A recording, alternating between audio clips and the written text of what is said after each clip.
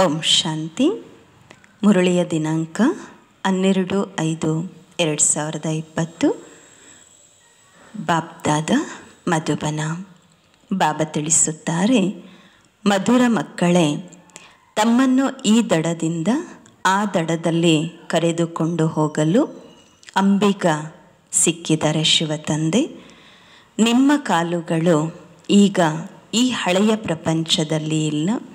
ನಿಮ್ಮ ದೋಣಿಯ ಹಗ್ಗ ಈಗ ಬಿಚ್ಚಲ್ಪಟ್ಟಿದೆ. ಪ್ರಶ್ನೆ, ಜಾದೂಗಾರ ತಂದೆಯ ಅದ್ಭುತವಾದ ಜಾದು ಯಾವುದಾಗಿದೆ? ಅದನ್ನು ಮತ್ಯಾರೂ ಮಾಡಲು ಸಾಧ್ಯವಿಲ್ಲ. ಉತ್ತರ, ಕವಡೆಯ ಸಮಾನವಾಗಿರುವ ಆತ್ಮರನ್ನು ವಜ್ರ ಸಮಾನರನ್ನಾಗಿ ಮಾಡುವುದು ಹೂತೋಟದ ಮಾಲೀಕ ನಮ್ಮನ್ನು ಮುಳ್ಳುಗಳಿಂದ ಹೂಗಳನ್ನಾಗಿ ಮಾಡುವುದು ಬಹಳ ಅದ್ಭುತವಾದ ಜಾದು ಆಗಿದೆ. ಇದನ್ನು ಒಬ್ಬ ತಂದೆ ಜಾದೂಗಾರನೇ ಮಾಡುತ್ತಾರೆ. ಮತ್ತಾರು ಮಾಡಲು ಸಾಧ್ಯವಿಲ್ಲ. ಮನುಷ್ಯರು ಹಣವನ್ನು ಸಂಪಾದಿಸಲಿಕ್ಕೆ ಕೇವಲ ಜಾದೂಗಾರ ಅಂತ ಕರೆಸ್ಕೊಳ್ತಾರೆ. ಆದರೆ ತಂದೆಯಂತಹ ಜಾದುವನ್ನು ಮಾಡಲಿಕ್ಕೆ ಸಾಧ್ಯವಿಲ್ಲ. ಓಂ ಶಾಂತಿ. ಈ ಸೃಷ್ಟಿ ಚಕ್ರ ಅಥವಾ ನಾಟಕದಲ್ಲಿ ತಂದೆ ಒಂದೇ ಬಾರಿ ಬರ್ತಾರೆ. ಮತ್ಯಾವುದೇ ಸತ್ಸಂಗ ಮುಂತಾದವುಗಳಲ್ಲಿ ಈ ರೀತಿ ತಿಳಿ ತಿಳಿಸ್ಕೊಡೋದು ಇಲ್ಲ. ಅರ್ಥವನ್ನು ತಿಳಿಸುವಂತಹವರು ಅವರು ಗುರುಗಳು, ತಂದೆಯೂ ಅಲ್ಲ. ಎದುರುಗಡೆ ಕೂತಿರುವಂತಹವರು ಅನುಯಾಯಿಗಳು ಅಲ್ಲ. ಅವರು ವಾಸ್ತವದಲ್ಲಿ ಬಾಬಾ ಹೇಳ್ತಾರೆ, ಅನುಯಾಯಿಗಳು ಇರುವಂತಹದ್ದಿಲ್ಲ. ಇಲ್ಲಂತೂ ನೀವು ಮಕ್ಕಳು ಆಗಿದ್ದೀರಾ? ವಿದ್ಯಾರ್ಥಿಗಳು ಆಗಿದ್ದೀರಾ ಮತ್ತು ಫಾಲೋಹರ್ಸು ಸಹ ಆಗಿದ್ದೀರಾ? ತಂದೆ ಮಕ್ಕಳನ್ನು ಜೊತೆಯಲ್ಲಿ ಕರ್ಕೊಂಡು ಹೋಗ್ತಾರೆ. ತಂದೆ ಹೋಗ್ತಾರೆ ಅಂದಾಗ ಮಕ್ಕಳು ಸಹ ಈ ಚೀಚಿ ಪ್ರಪಂಚದಿಂದ ತಮ್ಮ ಹೂಗಳ ಪ್ರಪಂಚದಲ್ಲಿ ಹೋಗಿ ರಾಜ್ಯಭಾರ ಮಾಡ್ತೀರಾ? ಇದು ನೀವು ಮಕ್ಕಳ ಬುದ್ಧಿಯಲ್ಲಿ ಬರಬೇಕು. ಈ ಶರೀರದಲ್ಲಿ ವಾಸ ಮಾಡ್ತಾ ಇರುವಂತಹ ಯಾವ ಆತ್ಮ ಇದೆ? ಅದು ಬಹಳ ಖುಷಿ ಪಡತ್ತೆ. ಅಂದರೆ ನೀವು ಆತ್ಮರು ಬಹಳ ಖುಷಿಯಾಗಿ ಇರಬೇಕು. ಎಲ್ಲರ ಬೇಹದ್ದಿನ ತಂದೆ ಈಗ ಬಂದಿದ್ದಾರೆ. ಇದು ಸಹ ಕೇವಲ ನೀವು ಮಕ್ಕಳಿಗೆ ಗೊತ್ತಿದೆ ಅಂತಾರೆ ಬಾಬರವರು. ಇಡೀ ಪ್ರಪಂಚದಲ್ಲಿ ಯಾರು ತಿಳ್ಕೊಂಡಿಲ್ಲ. ಬುದ್ಧಿಹೀನರಾಗ್ಬಿಟ್ಟಿದ್ದಾರೆ. ತಂದೆ ಹೇಳ್ತಾರೆ, ರಾವಣ ನಿಮ್ಮನ್ನು ಬುದ್ಧಿಹೀನರನ್ನಾಗಿ ಮಾಡ್ತಾರೆ. ಆದರೆ ತಂದೆ ಬಂದು ಬುದ್ಧಿವಂತರನ್ನಾಗಿ ಮಾಡ್ತಾರೆ. ಪೂರ್ತಿ ವಿಶ್ವದಲ್ಲಿ ರಾಜ್ಯವನ್ನು ಮಾಡಲಿಕ್ಕೆ ಯೋಗ್ಯರು, ಬುದ್ಧಿವಂತರನ್ನಾಗಿ ತಂದೆ ತಯಾರು ಮಾಡ್ತಾರೆ. ಈ ವಿದ್ಯಾರ್ಥಿ ಜೀವನ ಒಂದೇ ಬಾರಿ ಸಿಗತ್ತೆ. ಅಂದಾಗ ಸ್ವಯಂ ಭಗವಂತ ಓದಿಸ್ತಾರೆ ಅನ್ನೋದು ಕೂಡ ಬುದ್ಧಿಯಲ್ಲಿ ಬರೋದಿಲ್ಲ. ಅವರಿಗಂತೂ ತಮ್ಮ ಉದ್ಯೋಗ, ವ್ಯವಹಾರದ ನೆನಪಿರತ್ತೆ. ಭಗವಂತನೇ ನಮಗೆ ಓದಿಸ್ತಾರೆಂದು ನೀವು ತಿಳ್ಕೊಂಡಿದ್ದೀರಾ? ಅಂದಾಗ ಎಷ್ಟು ಖುಷಿಯಾಗಿರಬೇಕು. ಬಾಕಿ ಎಲ್ಲರದ್ದು ಕನಿಷ್ಠರಾದ ವರ ಮಕ್ಕಳಾಗಿರ್ತಾರೆ. ಆದರೆ ನೀವಂತೂ ಭಗವಂತನ ಮಕ್ಕಳಾಗಿದ್ದೀರಾ ಅಂದಾಗ ತಮಗೆ ಅಪಾರವಾದಂತಹ ಖುಷಿ ಇರಬೇಕು. ಕೆಲವರು ಬಹಳ ಹರ್ಷಿತವಾಗಿರ್ತಾರೆ. ಇನ್ನು ಕೆಲವರು ಹೇಳ್ತಾರೆ, ಬಾಬಾ, ನಮಗೆ ಮುರುಳಿ ಹೇಳಲಿಕ್ಕೆ ಬರೋದೇ ಇಲ್ಲ ಅಂದ್ಬಿಟ್ಟು. ಬಾಬಾ ಹೇಳ್ತಾರೆ, ಅರೆ, ಮುರುಳಿ ಏನು ಕಷ್ಟನಾ? ಹೇಗೆ ಭಕ್ತಿ ಮಾರ್ಗದಲ್ಲಿ ಸಾಧು ಸಂತರು ಮುಂತಾದವರಿಗೆ ಕೆಲವರು ಹೇಳ್ತಾರೆ ನಾವು ಈಶ್ವರನ ಜೊತೆ ಹೇಗೆ ಮೆಲನ ಮಾಡೋದು? ಅಂದ್ಬಿಟ್ಟು. ಆದರೆ ಅವರು ತಿಳ್ಕೊಂಡೇ ಇಲ್ಲ. ತಂದೆಯನ್ನು ಸಹ ಯಾರು ತಿಳ್ಕೊಂಡಿಲ್ಲ. ಈ ನಾಟಕ ಹೇಗೆ ತಯಾರಾಗಿದೆ? ಮುಂದಿನ ಕಲ್ಪದಲ್ಲಿಯೂ ಸಹ ಮರ್ತೋಗ್ಬಿಡ್ತೀರಾ?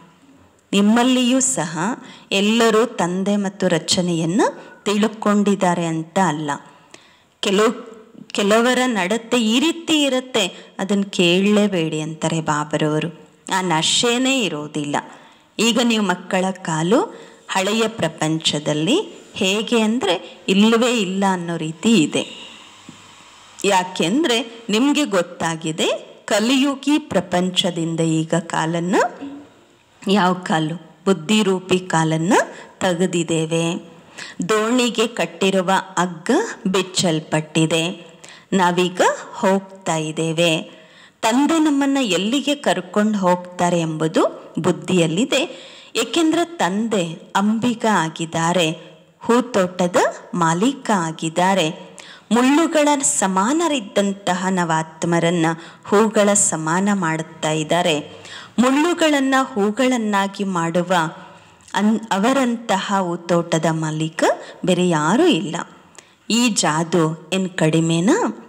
ಕವಡೆಯ ಸಮಾನವಾಗಿರುವ ಆತ್ಮರನ್ನ ವಜ್ರದ ಸಮಾನ ಮಾಡುತ್ತಾರೆ.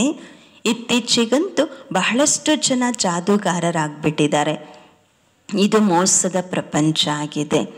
ತಂದೆ ಸದ್ಗುರು ಆಗಿದ್ದಾರೆ. ಸದ್ಗುರು ಅಕಾಲ್ ಎಂದು ಹೇಳಲಾಗತ್ತೆ. ಬಹಳ ಗೋಂಗಿನಿಂದ ಹೇಳುತ್ತಾರೆ. ಸದ್ಗುರು ಒಬ್ಬರೇ ಆಗಿದ್ದಾರೆ. ಸರ್ವರ ಸದ್ಗತಿ ದಾತ ಆಗಿದ್ದಾರೆ. ಮತ್ತು ಮನುಷ್ಯರು ತಮ್ಮನ್ನು ಗುರುಗಳು ಅಂತ ಏಕೆ ಕರೆಸ್ಕೊಳ್ಳೋದು? ಒಬ್ಬ ಭಗವಂತ ಸದ್ಗುರು ಅಂದಾಗ ಮನುಷ್ಯರು ತಮ್ಮನ್ನು ತಾವು ಗುರುಗಳು ಅಂತ ಯಾಕೆ ಕರೆಸ್ಕೊಳ್ಬೇಕು? ಅವರು ತಿಳ್ಕೊಂಡಿಲ್ಲ. ಮನುಷ್ಯರು ಸಹ ಏನು ತಿಳ್ಕೊಂಡೇ ಇಲ್ಲ. ಈ ಹಳೆಯ ಪ್ರಪಂಚದಲ್ಲಿ ಏನು ಇಟ್ಟಿರೋದಾದ್ರೂ ಏನಿದೆ? ತಂದೆ ಹೊಸ ಮನೆಯನ್ನು ನಿರ್ಮಾಣ ಮಾಡುತ್ತಾರೆ ಅಂತ ಹೇಳಿ ಮಕ್ಕಳಿಗೆ ಅರ್ಥ ಆಗಿದೆ ಅಂದಾಗ ಆ ಹೊಸ ಮನೆಯ ಜೊತೆ ತಿರಸ್ಕಾರ, ಹಳೆಯ ಮನೆಯ ಜೊತೆ ಪ್ರೀತಿ ಇಟ್ಕೊಳ್ಳುವಂತಹವರು ಯಾರಾದರೂ ಇರ್ತಾರಾ? ಬುದ್ಧಿಯಲ್ಲಿ ಹೊಸ ಮನೆ ನೆನಪಿರುತ್ತೆ. ನೀವು ಬೇಹದ್ದಿನ ತಂದೆಯ ಮಕ್ಕಳಾಗಿದ್ದೀರಾ ಅಂದಾಗ ನಿಮಗೆ ಸ್ಮರಣೆ ಇರಬೇಕು. ತಂದೆ ನಮಗಾಗಿ ಹೊಸ ಪ್ರಪಂಚವನ್ನು ಸ್ಥಾಪನೆ ಮಾಡ್ತಿದ್ದಾರೆ. ನಾವು ಆ ಹೊಸ ಪ್ರಪಂಚದಲ್ಲಿ ಹೋಗ್ತೇವೆ. ಅದಕ್ಕೆ ಅನೇಕ ಹೆಸರುಗಳಿವೆ. ಸತ್ಯಯುಗ ಹೆವೆನ್ ಪ್ಯಾರಡೈಸ್ ವೈಕುಂಠ ಇತ್ಯಾದಿ. ನಿಮ್ಮ ಬುದ್ಧಿ ಈಗ ಹಳೆಯ ಪ್ರಪಂಚದಿಂದ ದೂರವಾಗಿದೆ. ಏಕೆಂದರೆ ಹಳೆಯ ಪ್ರಪಂಚದಲ್ಲಿ ದುಃಖವೇ ದುಃಖವಿದೆ. ಇದರ ಹೆಸರೇ ಆಗಿದೆ ನರಕ, ಮುಳ್ಳುಗಳ ಪ್ರಪಂಚ, ರವರವ ನರಕ, ಕಂಸಪುರಿ ಇತ್ಯಾದಿ. ಇದರ ಅರ್ಥವನ್ನು ಸಹ ಯಾರು ತಿಳ್ಕೊಂಡಿಲ್ಲ. ಕಲ್ಲು ಬುದ್ಧಿ ಉಳ್ಳವರಾಗಿದ್ದಾರಲ್ವ ಭಾರತದ ಸ್ಥಿತಿ ನೋಡಿ ಏನಾಗಿದೆ? ಈ ಸಮಯದಲ್ಲಿ ಎಲ್ಲರೂ ಕಲ್ಲು ಬುದ್ಧಿ ಉಳ್ಳವರಾಗಿದ್ದಾರೆ ಸತ್ಯಯುಗದಲ್ಲಿ ಯಥಾ ರಾಜ, ರಾಣಿ, ತಥಾ ಪ್ರಜಾ ಎಲ್ಲರೂ ಪಾರಸ ಬುದ್ಧಿ ಉಳ್ಳವರಾಗಿರ್ತಾರೆ ಇಲ್ಲಿ ಪ್ರಜೆಗಳ ಮೇಲೆ ಪ್ರಜೆಗಳ ರಾಜ್ಯವಾಗಿದೆ. ಆದ್ದರಿಂದ ಎಲ್ಲರ ಸ್ಟಾಂಪನ್ನು ಸಹ ಮಾಡ್ತಿರ್ತಾರೆ. ಬಾಬಾ ಹೇಳ್ತಾರೆ, ನೀವು ಮಕ್ಕಳ ಬುದ್ಧಿಯಲ್ಲಿ ಇದು ನೆನಪಿರಬೇಕು. ಶ್ರೇಷ್ಠಾತಿ ಶ್ರೇಷ್ಠ ತಂದೆಯಾಗಿದ್ದಾರೆ. ಮತ್ತು ಎರಡನೇದಾಗಿ ಶ್ರೇಷ್ಠರು ಅಂದರೆ ಬ್ರಹ್ಮ, ವಿಷ್ಣು, ಶಂಕರ. ಯಾವುದೇ ಇದು ದೊಡ್ಡತನೂ ಅಲ್ಲ. ಶಂಕರನಿಗೆ ನೋಡಿ ಬಟ್ಟೆ ಯಾವ ರೀತಿ ತೋರಿಸಿದ್ದಾರೆ. ಶಂಕರ ಬಂಗಿ ತೋ ಸೇತ್ತಾ ಇದ್ರು, ದತ್ತೂರಿ ತಿಂತಾ ಇದ್ರು ಅಂತೆಲ್ಲ ಹೇಳಿಬಿಟ್ಟಿದ್ದಾರೆ. ಅಂದಾಗ, ಇದು ನಿಂದನೆ ಆಯಿತು ಅಲ್ವಾ? ಇಂತಹ ಮಾತುಗಳೇ ಇರೋದಿಲ್ಲ. ಇವರು ತಮ್ಮ ಧರ್ಮವನ್ನೇ ಮರ್ತಿದ್ದಾರೆ.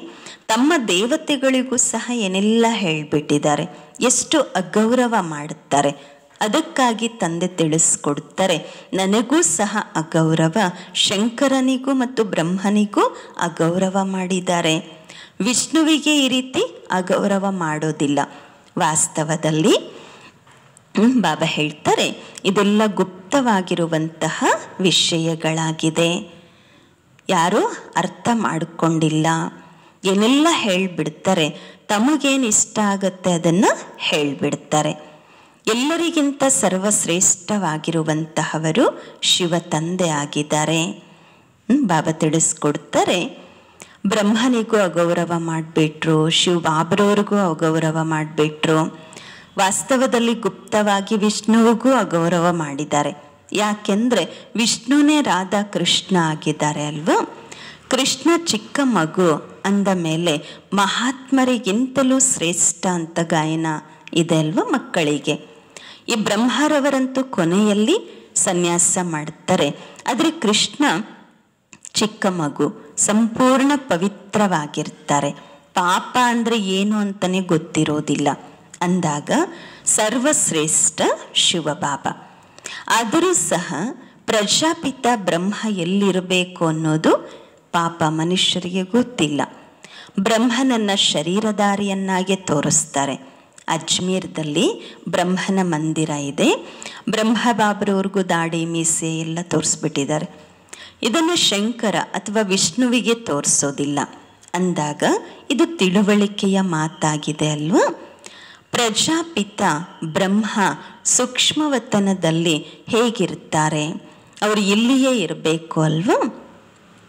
ಈ ಸಮಯದಲ್ಲಿ ಬ್ರಹ್ಮನಿಗೆ ಎಷ್ಟು ಮಕ್ಕಳಿದ್ದಾರೆ? ಬರೆಯಲ್ಪಟ್ಟಿದೆ, ಪ್ರಜಾಪಿತ ಬ್ರಹ್ಮ ಕುಮಾರ ಕುಮಾರಿಯರು ಇಷ್ಟು ಜನ ಇದ್ದಾರೆಂದು. ಅವಶ್ಯವಾಗಿ ಪ್ರಜಾಪಿತ ಇದ್ದಾರೆ. ಬ್ರಹ್ಮ ಕುಮಾರ ಕುಮಾರಿಯರಿದ್ದೀರಾ ಅಂದಮೇಲೆ ತಂದೆ ಪಿತಾನೂ ಇದ್ದಾರೆ. ಅವರು ಚೈತನ್ಯದಲ್ಲಿ ಇದ್ದಾರೆ. ಅದಕ್ಕಾಗಿ ಇಷ್ಟು ಮಾಡುತ್ತಾ ಇದ್ದಾರೆ. ಪ್ರಜಾಪಿತ ಬ್ರಹ್ಮ ಕೇವಲ ಮಕ್ಕಳಿಗೆ ಜನ್ಮವನ್ನಷ್ಟೇ ಕೊಡುತ್ತಾರೆಯೋ ಅಥವಾ ಇನ್ನೇನಾದರೂ ಮಾಡ್ತಾರೋ? ಬಲೆ ಆದಿದೇವ ಬ್ರಹ್ಮ, ಆದಿದೇವಿ ಸರಸ್ವತಿ ಎಂದು ಹೇಳ್ತಾರೆ. ಆದರೆ ಅವರ ಪಾತ್ರ ಏನಿದೆ ಅಂತ ಹೇಳಿಬಿಟ್ಟು ಗೊತ್ತಿಲ್ಲ. ರಚಯಿತ ಅಂದರೆ ಅವಶ್ಯವಾಗಿ ಇಲ್ಲಿದ್ದು ಹೋಗ್ತಾರೆ ಅಲ್ವಾ? ಅವಶ್ಯವಾಗಿ ಬ್ರಾಹ್ಮಣರನ್ನ ಶಿವ ತಂದೆ ದತ್ತು ಮಾಡಿಕೊಂಡಿರಬೇಕು. ಇಲ್ಲ ಅಂತ ಹೇಳಿದ್ರೆ ಬ್ರಹ್ಮ ಎಲ್ಲಿಂದ ಬರ್ತಾರೆ? ಇದೆಲ್ಲ ಹೊಸ ಮಾತುಗಳು. ಎಲ್ಲಿಯವರಿಗೆ ತಂದೆ ಬರೋದಿಲ್ಲ, ಅಲ್ಲಿಯವರಿಗೆ ಯಾರು ಅರ್ಥ ಮಾಡ್ಕೊಳ್ಳೋದಕ್ಕಾಗೋದಿಲ್ಲ ಯಾರದು ಯಾವ ಪಾತ್ರ ಇದೆಯೋ ಅದನ್ನೇ ಅಭಿನಯಿಸ್ತಾರೆ. ಬುದ್ಧನ ಪಾತ್ರ ಏನಿದೆ ಅದನ್ನು ಅವರು ಅಭಿನಯಿಸ್ತಾರೆ. ಅವ್ರು ಯಾವಾಗ ಬಂದರು, ಏನು ಮಾಡಿದ್ರು ಅನ್ನೋದು ಯಾರು ತಿಳ್ಕೊಂಡಿಲ್ಲ. ನೀವೀಗ ತಿಳ್ಕೊಂಡಿದ್ದೀರಾ, ಅವರು ಗುರುನ, ಶಿಕ್ಷಕನ ಅಥವಾ ತಂದೆನ? ಇಲ್ಲ. ಸದ್ಗತಿ ಅಂತ ಅವ್ರು ಕೊಡ್ಲಿಕ್ಕಾಗೋದಿಲ್ಲ ಬುದ್ಧ. ಬುದ್ಧ ಕೇವಲ ತಮ್ಮ ಧರ್ಮದ ರಚಯಿತ ಆದರೆ ಹೊರತು ಗುರು ಅಲ್ಲ. ತಂದೆ ಮಕ್ಕಳನ್ನು ರಚಿಸ್ತಾರೆ ಮತ್ತು ಓದಿಸ್ತಾರೆ. ತಂದೆ ಶಿಕ್ಷಕ ಸದ್ಗುರು ಮೂವರು ಆಗಿದ್ದಾರೆ. ನೀವು ಓದಿಸಿ ಅಂತ ಹೇಳಿ ಮತ್ತೆ ಬೇರೆಯವರಿಗೆ ಹೇಳೋದಿಲ್ಲ. ಮತ್ತಾರ ಬಳಿಯೂ ಸಹ ಈ ಜ್ಞಾನ ಇಲ್ಲ. ಬೇಹದ್ದಿನ ತಂದೆಯೇ ಜ್ಞಾನ ಸಾಗರ ಆಗಿದ್ದಾರೆ. ಅಂದ ಮೇಲೆ ಅವಶ್ಯವಾಗಿ ಬಾಬಾರವರು ಜ್ಞಾನವನ್ನು ತಿಳಿಸ್ಕೊಡ್ತಾರೆ. ತಂದೆಯೇ ಸ್ವರ್ಗದ ರಾಜ್ಯ ಭಾಗ್ಯವನ್ನು ಕೊಟ್ಟಿದ್ದರು. ಈಗ ಪುನಃ ಕೊಡುತ್ತಾ ಇದ್ದಾರೆ. ತಂದೆ ತಿಳಿಸ್ಕೊಡುತ್ತಾರೆ ನೀವು ಐದು ಸಾವಿರ ವರ್ಷಗಳ ನಂತರ ಬಂದು ಪುನಃ ಸೇರಿದ್ದೀರ? ಯಾರನ್ನ ಇಡೀ ಪ್ರಪಂಚ ಹುಡುಕುತ್ತಾ ಇದೆ, ಅವರೀಗ ನಿಮಗೆ ಸಿಕ್ಕಿದ್ದಾರೆ ಅಂದಾಗ ತಾವು ಮಕ್ಕಳಿಗೆ ಆಂತರಿಕ ಖುಷಿ ಇದೆ.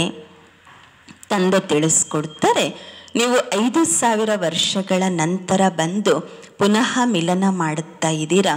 ಅದಕ್ಕೆ ಹೇಳಲಾಗುತ್ತೆ ನೀವು ಮಕ್ಕಳು ಹೇಳ್ತೀರಾ, ಹಾ ಬಾಬಾ, ಹೌದು. ತಮ್ಮನ್ನು ಅನೇಕ ಬಾರಿ ಮಿಲನ ಮಾಡಿದ್ದೇವೆ. ಬಲೆ ಯಾರು ಎಷ್ಟಾದರೂ ತಮಗೆ ಒಡೀಲಿ, ಬಡೀಲಿ, ಅದರ ಒಳಗೆ ಆ ಖುಷಿ ಇದೆ ಅಲ್ವಾ? ಶಿವ ಬಾಬರವರನ್ನ ಮಿಲನ ಮಾಡಿರುವ ನೆನಪಿದೆ ಅಲ್ವಾ? ನೆನಪಿನಿಂದಲೇ ಎಷ್ಟೊಂದು ಪಾಪಗಳು ಭಸ್ಮವಾಗುತ್ತವೆ. ಅಬಲೆಯರು ಬಂಧನದಲ್ಲಿರುವಂತಹವರು ಪಾಪಗಳು ಇನ್ನೂ ಹೆಚ್ಚಿನದಾಗಿ ಭಸ್ಮ ಆಗತ್ತೆ. ಯಾಕೆಂದರೆ, ಅವರು ಶಿವಬಾಬ್ರವರನ್ನು ಜಾಸ್ತಿ ನೆನಪು ಮಾಡ್ತಾರೆ. ಅತ್ಯಾಚಾರಗಳಾದಾಗ ಬುದ್ಧಿ ಶಿವಬಾಬರವರ ಕಡೆನೇ ಹೊರಟೋಗ್ಬಿಡತ್ತೆ. ಶಿವಬಾಬಾ, ನಮ್ಮನ್ನು ಕಾಪಾಡಿ ಅಂತ ಕರೀತಾರೆ. ಅಂದಾಗ, ನೆನಪು ಮಾಡುವಂತಹದ್ದು ಒಳ್ಳೆಯದು ಅಲ್ವಾ? ಇಂತಹ ದುಃಖದಲ್ಲಂತೂ ಬಲಿಹಾರಿ ಆಗಿಬಿಡಬೇಕು. ಪೆಟ್ಟು ಬಿದ್ದಾಗ ನೆನಪು ಮಾಡ್ತಾರೆ. ಗಂಗಾ ಜಲ ಬಾಯಲ್ಲಿ ಇರಬೇಕು. ಗಂಗಾ ನದಿಯ ತೀರದಲ್ಲಿ ಇರಬೇಕು. ಆಗ ಪ್ರಾಣ ಆತ್ಮ ಶರೀರವನ್ನು ಬಿಟ್ಟು ಹೋಗಬೇಕು ಅಂತ ಹೇಳ್ತಾರೆ. ನಿಮಗೆ ಯಾವಾಗ ಪೆಟ್ಟು ಬೀಳುತ್ತೆ, ಆಗ ಬುದ್ಧಿಯಲ್ಲಿ ತಂದೆ ಮತ್ತು ಆಸ್ತಿಯ ನೆನಪಾಗತ್ತೆ. ಬಾಬಾ ಎಂದು ಹೇಳಿದಾಗ ಅವಶ್ಯವಾಗಿ ಆಸ್ತಿಯೂ ಸಹ ನೆನಪಿಗೆ ಬರುತ್ತೆ. ಬಾಬಾ ಹೇಳ್ತಾರೆ, ಅವರಂತೂ ವಿಕಾರಕ್ಕಾಗಿ ಎಷ್ಟೆಲ್ಲ ಪೆಟ್ಟು ಕೊಟ್ಟು ಶಿವ ತಂದೆಯ ನೆನಪು ತರಿಸ್ತಾರೆ. ನೀವು ತಂದೆಯಿಂದ ಆಸ್ತಿಯನ್ನು ಪಡ್ಕೊಳ್ತೀರಾ? ಪಾಪಗಳು ಭಸ್ಮ ಆಗತ್ತೆ. ಇದು ಸಹ ನಾಟಕದಲ್ಲಿ ನಿಮಗಾಗಿ ಗುಪ್ತ ಕಲ್ಯಾಣವಿದೆ. ಹೇಗೆ ಯುದ್ಧ ಕಲ್ಯಾಣಕಾರಿಯಾಗಿದೆ ಎಂದು ಹೇಳಲಾಗುತ್ತೆ. ಅಂದಾಗ ಈ ಪೆಟ್ಟುಗಳು ಸಹ ಒಳ್ಳೆಯದೇ ಅಲ್ವಾ? ಇತ್ತೀಚೆಗೆ ಮಕ್ಕಳ ಪ್ರದರ್ಶನಿ, ಮೇಳಗಳ ಸೇವೆ ಬಹಳ ತೀವ್ರವಾಗಿದೆ. ನವನಿರ್ಮಾಣ ಪ್ರದರ್ಶನಿಯ ಜೊತೆಯಲ್ಲಿ ಗೇಟ್ ವೇ ಟು ಹೆವೆನ್ ಎಂದು ಬರೆಯಿರಿ.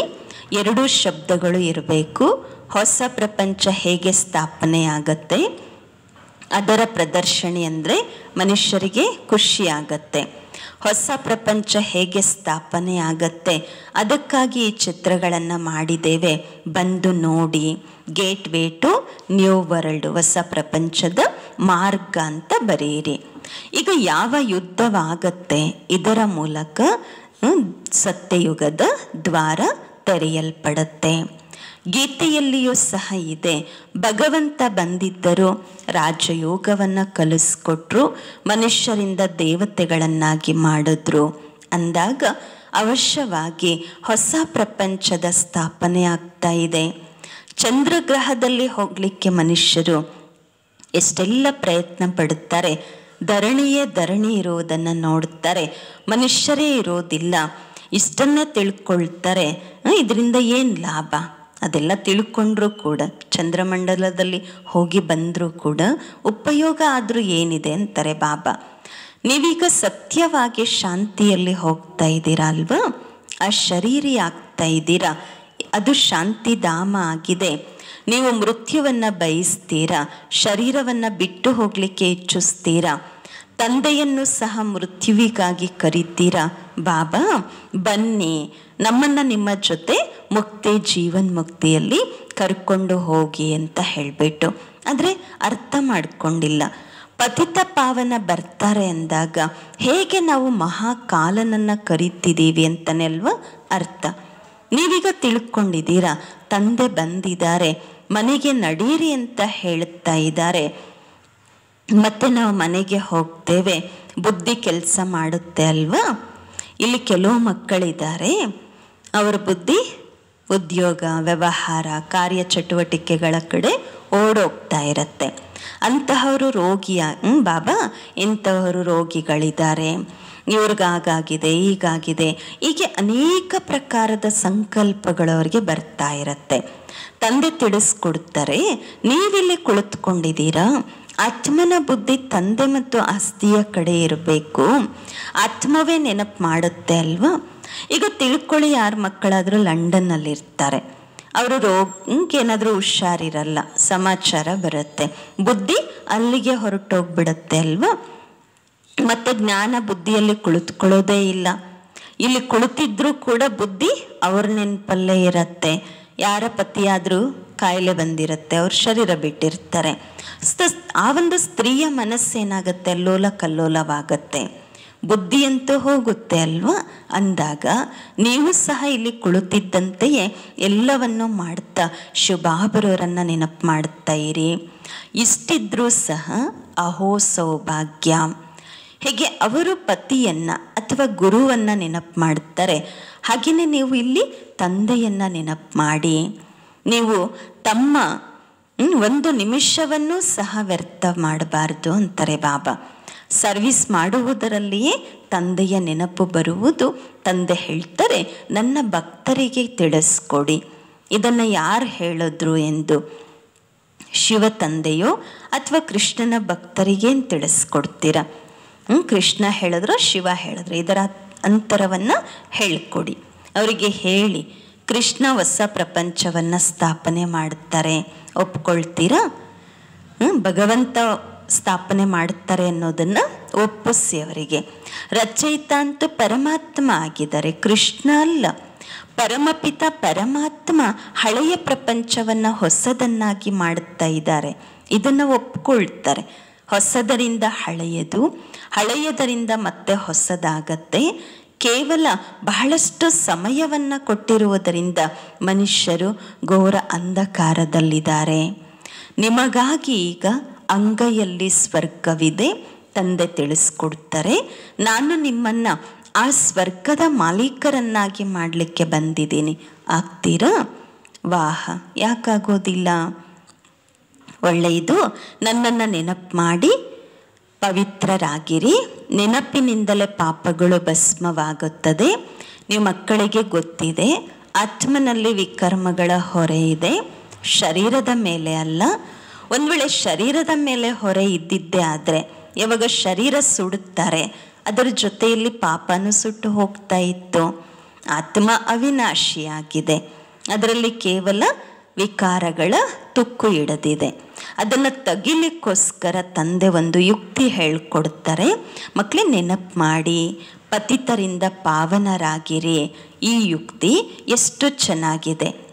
ಮಂದಿರವನ್ನು ಕಟ್ಟಿಸುವವರು, ಶಿವನ ಪೂಜೆಯನ್ನು ಮಾಡಿ ಮಾಡುವವರು ಸಹ ಭಕ್ತರಾಗಿದ್ದಾರೆ ಅಲ್ವಾ? ಪೂಜಾರಿಗಳಿಗೆ ಎಂದು ಪೂಜ್ಯರು ಅಂತ ಹೇಳಲಿಕ್ಕೆ ಆಗೋದಿಲ್ಲ. ಒಳ್ಳೆಯದು. ಮಧುರಾತಿ ಮಧುರ ಅಗಲಿ ಹೋಗಿ ಮರಳಿ ಸಿಕ್ಕಿರುವ ಮಕ್ಕಳ ಪ್ರತಿಯಾಗಿ ಮಾತ್ಪಿತಾ ಬಾಬ್ ದಾದಾರವರ ನೆನಪು, ಪ್ರೀತಿ ಹಾಗೂ ಬೆಳಗಿನ ವಂದನೆಗಳು. ಆತ್ಮೀಯ ಮಕ್ಕಳಿಗೆ ಆತ್ಮೀಯ ತಂದೆಯ, ನಮಸ್ತೆ.